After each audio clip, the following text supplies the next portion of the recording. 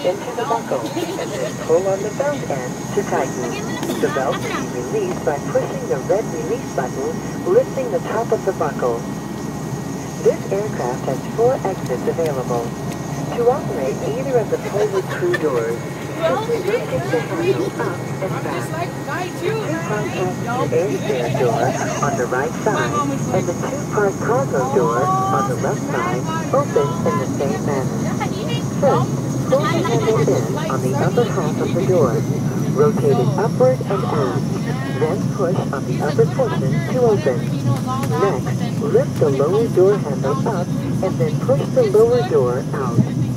We ask that under normal circumstances, you allow the doors to be opened only by the pilot or other authorized Hageland Aviation personnel.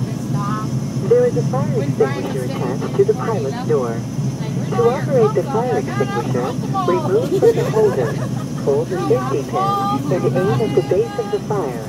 Then squeeze the handle. I only had one glass of Federal wine. regulations prohibit smoking on board this aircraft at all times. I used to Please make sure your because seat you were backs like, are in the upright position.